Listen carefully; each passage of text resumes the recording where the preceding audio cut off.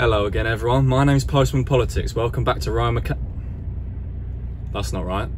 My name's Rowan McCavern. Welcome back to Postman Politics. On today's episode, I do my job. I'm delivering all over today, but I'm in East Street right now. Anyone that lives in Bristol will know this street. It's notorious for being East Street. Um, I got my bike stolen on this street on one of the like first weeks that I moved to Bristol. It wasn't good. I went into the butcher's back over there. I walk in. Usually when I go into a shop and I've got my bike or I've got my scooter, I'll bring it in with me, but it's such a tiny little shop that I just, I literally walked in, put it outside the door, 20 seconds talking to the guy. I was just like, I'm just gonna bring my bike in because I'm just a bit scared. Honestly, I was in there for about 20, 30 seconds. I walk out and there's a geezer already on my bike and he's already like a bit too far ahead. I shouted at him, I was like, oi, what are you doing? And then just sprinted after him, but he was already going, that's the thing. I grabbed the seat, but if you picture it, yeah, if you think, if I've grabbed the seat, that means it's mine, it isn't. Like, I thought that was mine, but he was already pedaling, and because he's a little crackhead knob, he just like tried to get away as fast as he could, and as I'm grabbing the seat, he's like pedaling away and he just it slipped out of my grip.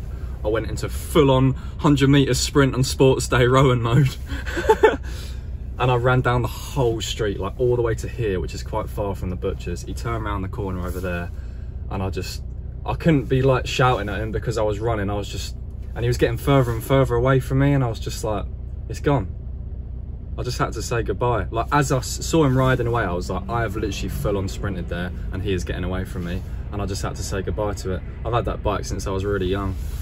It was, um, it was really annoying. Uh, I get over things like that pretty quickly, I can't lie, because it was completely my fault and I can get another one. But it's like the memories that you have of that bike. I used to like ride around with my mates like all the time. I'm driving, I'm driving, I'm driving in my van. It's a tiny little van. It is really small, this van. But I kind of like it because I can whip, round, whip, whip, whip, whip, whip round like a little go-kart. Yes, boys and girls. How are we doing though, YouTube? We all alright? Like, you guys doing well? My seatbelt is on, you liar! Yeah, how are we all doing? We all good? We all good? It's alright, the camera's just propped up. I'm not filming myself. Well, I am filming myself, I'm just not using my arm.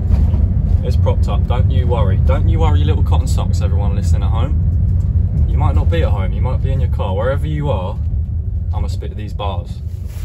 Um, yeah, no, none of that made sense, but I guess when I say how you are, I'm not ever gonna get a response in it because you're not actually right next to me, but I like to say how you are because then you can at least respond wherever you are and then you just, you know, we're all friends.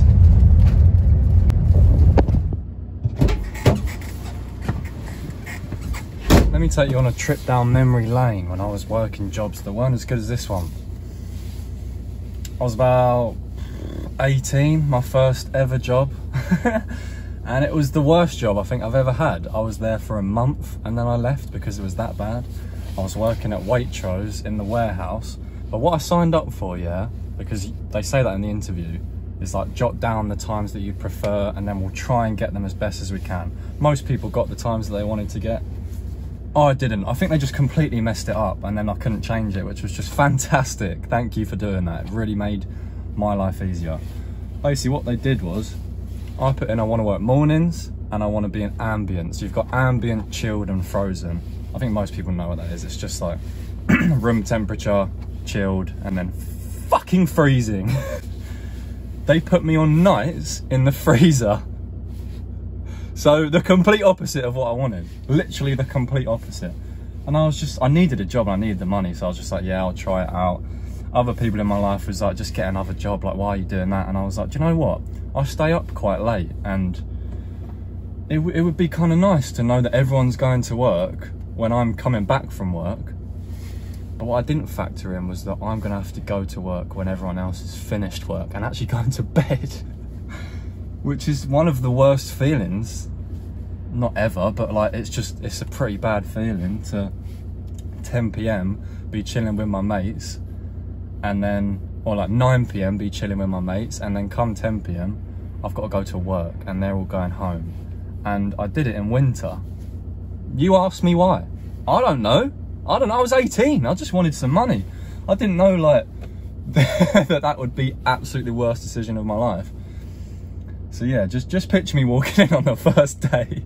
It's minus six in there, I'm pretty sure. It was a long time ago, but it was it was minus, it was definitely more than like minus two or minus three. Because I'm in the freezer. And you just do you know that pause of silence yeah was me actually remembering what it felt like. It was the most depressing place i've ever been in in my life. All the older people there that had been there for ages were saying what are you doing? Oh they'd literally look at me and be like why are you here? And i was just like why am i here? And they were like you're way too young and smart for this mate. Like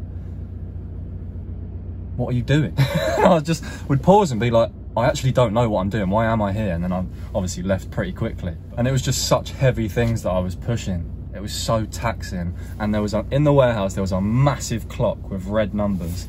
So you'd know what the time is all the time. It would be impossible to not look at the time. So I'd be like, oh, please tell me like at least half an hour has gone and like one minute had gone.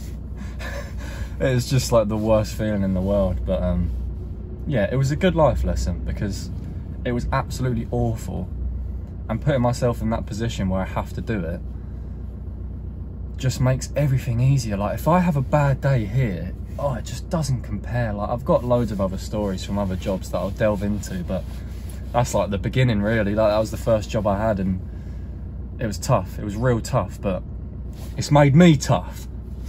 Mm! And I guess the moral of that story is to make sure that you do things that really scare the hell out of you and make you just second guess it and go, can I actually achieve that? Is that going to be too difficult to do? And if you do it, I guarantee you, I can almost guarantee you, you'll do it and you'll be like, oh, that wasn't that bad. And if it is that bad, you did it anyway, you know? And that's a big achievement. It makes all of the mundane tasks and the simple things that you get stressed out about not stressful because you know what true stress really feels like. Wisdom with Rowan. Cool, isn't that sun just absolutely lovely on the eyes? That's amazing. You've got to really take it in because we don't get a lot of sun in England. I don't know about you guys that live in other countries, but sun isn't very common around here. A lot of rain is, a lot of clouds. Sun isn't very common, but it's nice when it comes out because you're not used to it, so you just love it, man. Oh my God, that is amazing. Lord, shine your wisdom upon me. Look at this absolutely stonking sandwich though. If you're ever in Bristol and you're on North Street, hit up Dio's Deli. It's so good, the way they just structure their sandwiches. sound like a goon, but so the layers are just fantastic. This one's chicken thighs, bit of turmeric, red cabbage, lettuce, bit of mayo, Great bread as well, really nice in there. 6.50 per sandwich, is eight pound for the beef one. That even that that ain't even that bad. No beeping today, thank the Lord. Thank you, Lord Jesus Christ, for not making the van beep. Jesus, helly, godly man, that was annoying. But yeah, guys and girls, and animals, whatever you are, whatever you identify as, fucking penguin nowadays, isn't it? That concludes the episode. I hope you enjoyed not much else to say. I love you all. Have a good rest of your day. Have a good day if you're starting it. Whatever you're doing. Have a good time. Goodbye.